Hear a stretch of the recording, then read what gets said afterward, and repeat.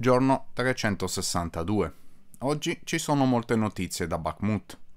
Dopo il recente cambio del fronte nella regione, i russi hanno provato a mantenere lo slancio e sfondato immediatamente la successiva linea difensiva. Hanno lanciato una serie di attacchi da quasi tutti i lati, ma come mostrato dal video della Wagner, l'unico risultato è stato subire più perdite. L'ultima volta abbiamo visto come, dopo la ritirata da Paraskovivka, la linea del fronte si è avvicinata all'autostrada. Senza una presenza ucraina nella città, i russi hanno avuto la libertà di attaccare le periferie a nord di Bakhmut. Dopo aver stabilito controllo su diversi blocchi, hanno aperto un'altra linea d'attacco e cominciato ad avanzare lungo le ferrovie.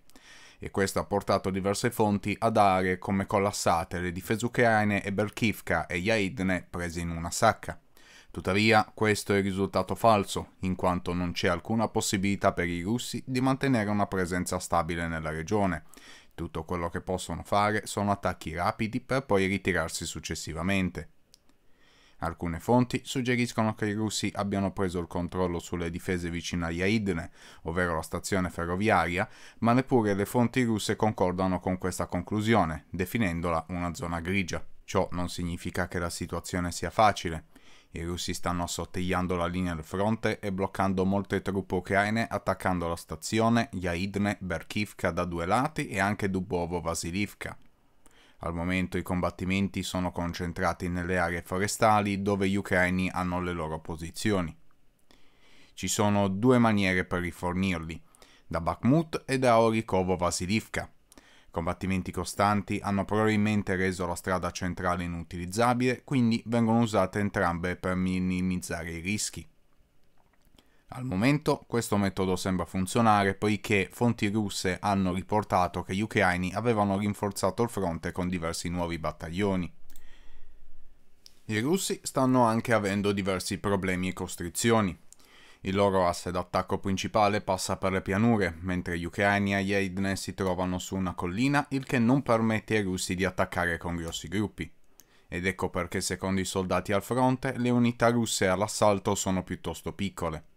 Cercando di compensare il numero di soldati con il numero di attacchi, lanciando numerosi assalti su diversi insediamenti e da diversi lati. Al momento però tutti gli attacchi contro Yeidne sono stati respinti e attaccare frontalmente Berkivka è una manovra suicida, quindi stanno cercando di prendere il controllo sulle zone forestali, ma senza successo.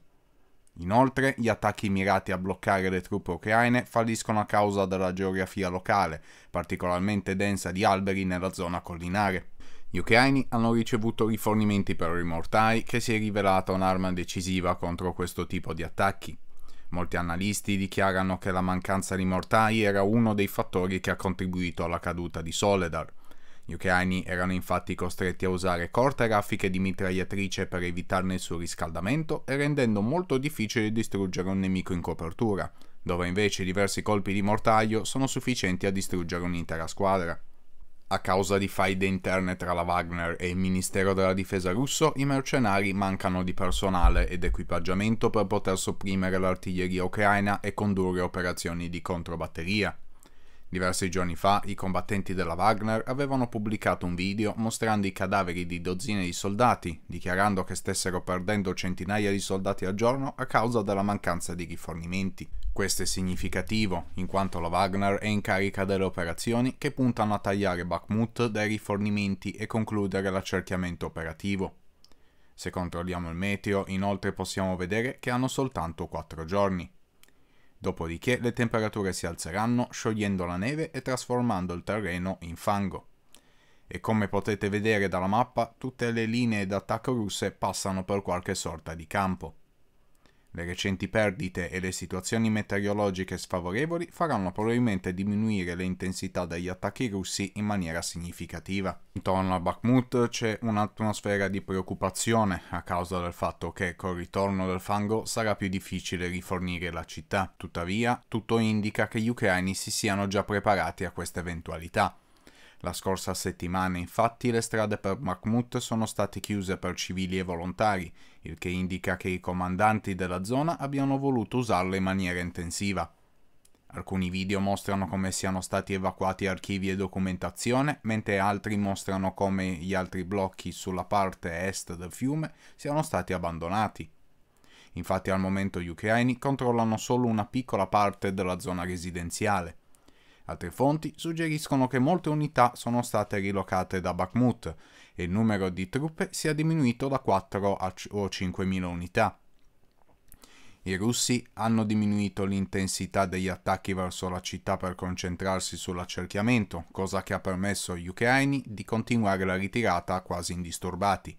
E sfortunatamente per i russi il tempo per completare le loro operazioni sta per scadere, in quanto il fango non permetterà loro di tagliare alcuna strada e gli ucraini potranno ritirarsi gradualmente prima che il terreno si asciughi ad aprile.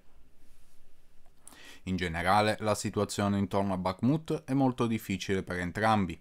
Gli ucraini hanno sempre meno spazio di manovra per bloccare l'avanzata russa e permettere ai rifornimenti di arrivare alla città, mentre i russi non hanno quasi più tempo, poiché in pochi giorni tornerà il fango, rendendo molti campi inutilizzabili e bloccandone l'avanzata. Gli ucraini hanno quasi finito di ristrutturare le difese interne alla città e se riescono a tenere i fianchi per qualche altro giorno, la situazione diventerà molto più facile.